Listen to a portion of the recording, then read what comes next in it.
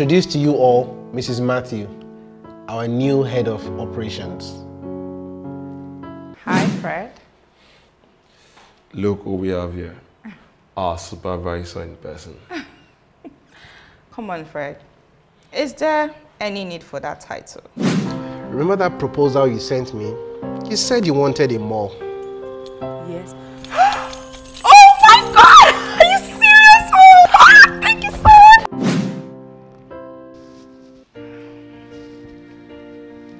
Hey, darling.